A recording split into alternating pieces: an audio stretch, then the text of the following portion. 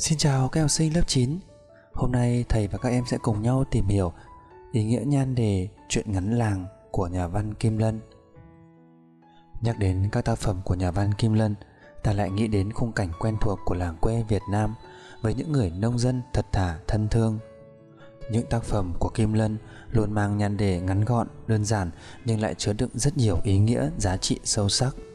Làng là một nhan đề như vậy. Câu chuyện xoay quanh nhân vật ông hai cùng ngôi làng chợ dầu của ông. Ấy vậy, nhưng tác giả không lấy tên tác phẩm là làng chợ dầu bởi đó là một địa danh cụ thể, không có tính khái quát cao. Nhắc đến làng là ta nghĩ ngay đến nơi thân thuộc, nơi gắn bó biết bao kỷ niệm của mình. Đó là nơi ta sinh ra, cất tiếng khóc chào đời, hay cũng là nơi ta gắn bó cả cuộc đời mình ở đấy.